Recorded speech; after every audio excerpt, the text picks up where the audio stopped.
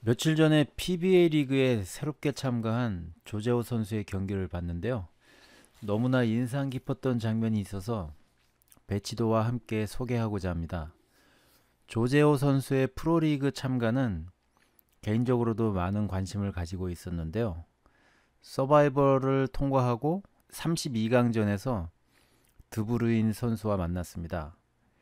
2대 2에서 마지막 5세트에 나왔던 배치를 소개하겠습니다. 먼저 드브루인 선수가 9대 2로 앞선 상태에서 이 뒤돌리기 배치를 놓치는 것으로 시작됩니다. 당구박사 사이트 뒤돌리기 4-2C 번호로 수록되어 있으니까요. 관심 있는 분은 나중에 연습해 보시기 바랍니다. 쉽게 생각하고 끌어치려고 하다가는 노란 공이 빨간 공을 때리는 키스를 내기 쉽습니다. 드브루인 선수가 뒤돌리기를 실수한 후에 조재호 선수가 무려 8점을 쳐서 마지막 1점을 남겨놓은 상황입니다. 배치만 봐서는 놓칠 것 같지 않았는데 여기서 키스가 나면서 기회가 드브루인 선수에게로 넘어갑니다.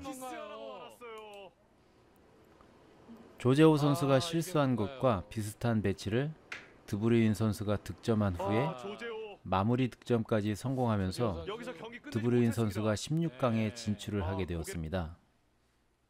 뼈아픈 실수를 한 조재호 선수가 눈물을 보였는데요. 이 배치를 당구대에 놓고 쳐보았습니다. 경기 장면에서 볼 때와는 다르게 함정이 있는 배치였던 것 같습니다. 3쿠션 또는 5쿠션으로의 득점을 노리는 것이 좋은데요. 빨간 공의 위치가 애매해서 회전을 많이 사용하거나 조금만 두께가 두꺼워도 길게 실패할 그런 배치였습니다. 당구박사 사이트에 배치도가 있으니까요. 조재호 선수가 통안의 눈물을 흘렸던 배치를 여러분들도 한번 연습해 보시기 바랍니다.